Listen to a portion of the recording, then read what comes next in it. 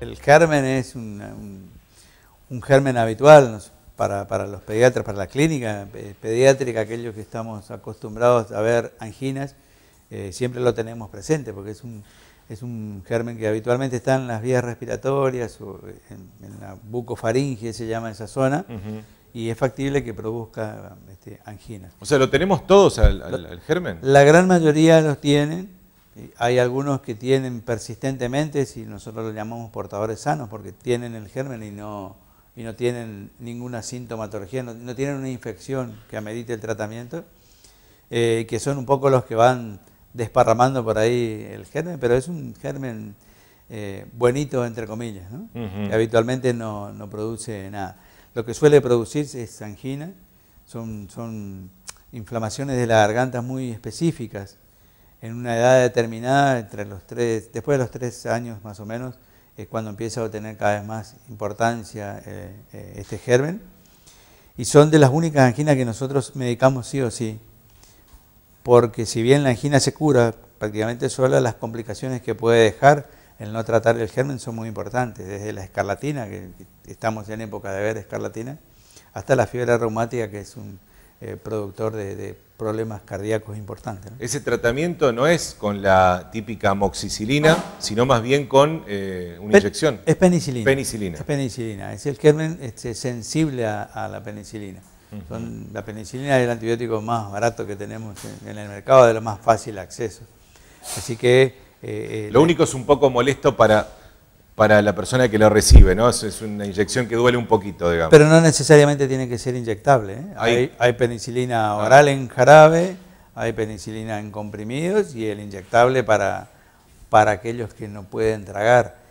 En algunas enfermedades específicas, como este, mencionaba recién la fiebre reumática, sí, el tratamiento es inyectable. Pero si estamos ante la presencia de una infección aguda de un probable estreptococo, la medicación es penicilina oral. A las 48 horas desaparece el germen este, y, en una semana vos tenés resuelta la infección con la penicilina. ¿Es verdad, doctor, que, la inyección tiene un efecto más rápido que, que por ejemplo, el jarabe? Eso siempre se, dice. No, se dice nomás, pero en realidad eh, lo que hace la inyección es asegurarte que toda la dosis que vos este, pretendés que esté en el organismo esté adentro. Con el jarabe, y más hablando de pediatría, a veces te, cargas un poquito, escupen otro poco, las dosis este, son, son variables. No así con las pastillas, las pastillas también este, uno se asegura, pero el inyectable es como que tener la certeza de que el, millón doscientos, los dos millones cuatrocientos de penicilina, que esas son las fracciones de la penicilina, están dentro del organismo y van a cumplir su, rol. ¿Y qué pasa, doctor, con las personas que son alérgicas a la penicilina, que las hay también? Sí, esas, esas personas tienen una opción que son las este, eritromicinas o claritromicinas, son los antibióticos que también este, matan el germen o combaten la infección y que son este, de segunda opción en, en, estos pacientes. ¿La acitromicina, por ejemplo, no? Es un antibiótico que se suele dar Es un antibiótico muy frecuente en esta época, una de las últimas, no es de la más recomendada para esto, lo, eh, lo más viejito acá y lo más efectivo es la penicilina o la eritromicina. Si no tenemos eso, bueno, buscamos alguna otra acción. Porque, eh, insisto con esto, es un germen que muere fácilmente con, el antibiótico, no, no no es, no es de los gérmenes que nosotros estamos acostumbrados a ver como muy agresivos, sino de los más, de los más suaves. Y claramente después de los tres años, y hago la salvedad de los tres, después de los tres años, porque las anginas o las amigdalitis en menores de dos años, la gran mayoría son virales y no tienen que ver con, el estreptococo, eh, tienen una característica especial.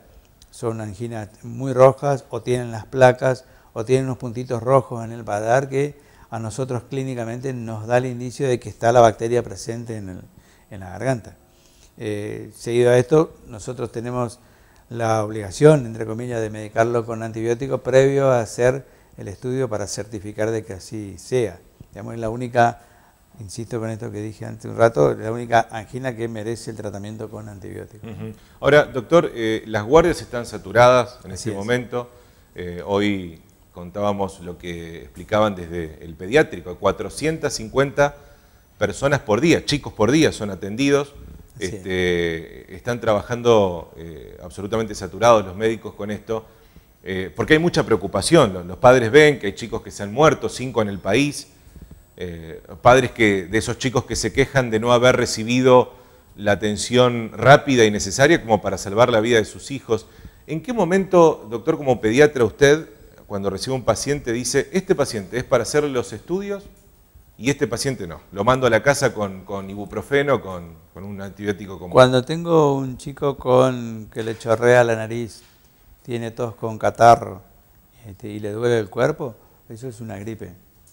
Cuando tengo un chico que tiene una garganta roja con placas y puntitos en el paladar, eso es una angina probablemente estreptococo, ese merece hacerse el estudio para el estreptococo, ¿no? El test rápido y el cultivo que dura una semana, pero fundamentalmente el test rápido para poder darle la medicación antibiótica. Hay otros chicos que, teniendo una gripe, un cuadro gripal, pero tienen problemas respiratorios crónicos o tienen otras enfermedades, conviene hacerle, y, bueno, tenemos la, imagen de una garganta fea o una garganta roja, conviene hacerle los estudios.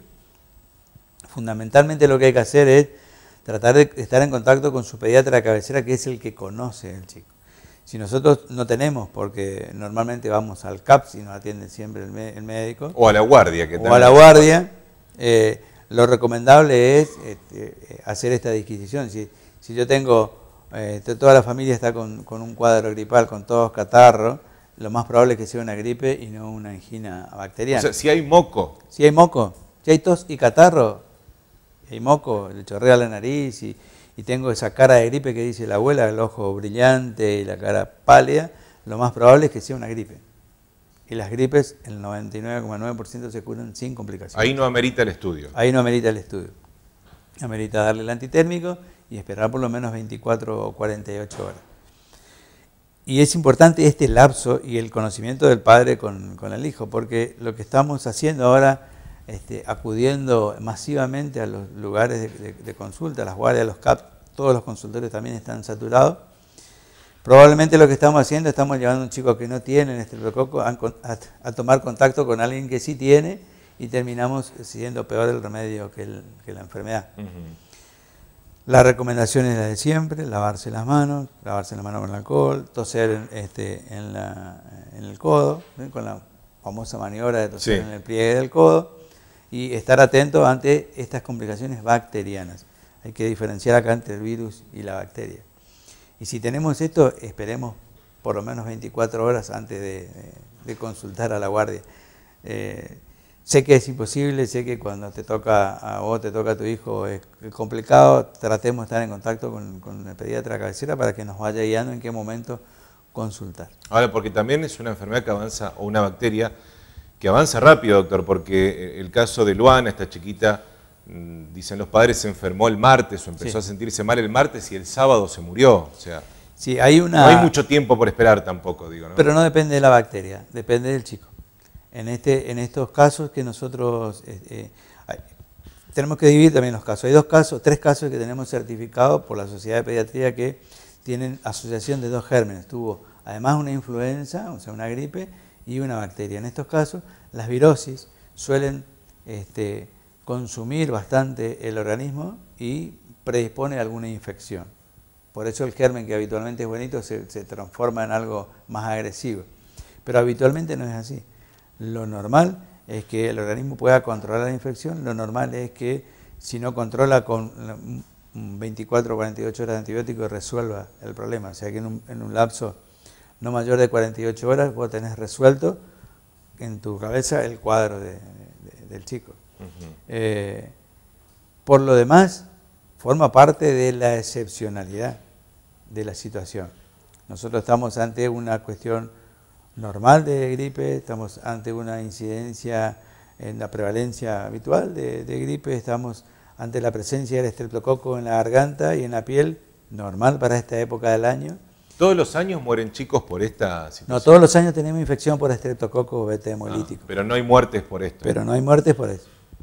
Pero puede ser porque el virus esté más agresivo ahora, la bacteria digo, no el virus. Es, muy probable que esto sea así, eso lo están este, discriminando este, desde Buenos Aires, de, los de Malbrán y los institutos de, para ver este tipo de gérmenes, si cambió su agresividad o por qué hizo lo que hizo.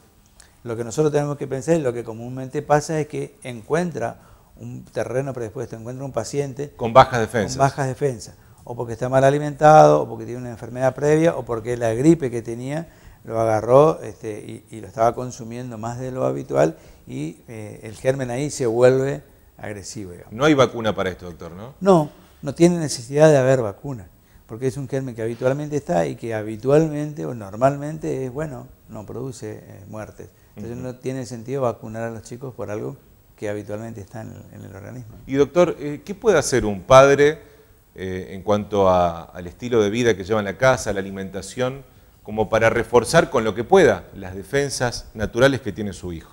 Como decía la abuela, tienen que comer bien y dormir bien.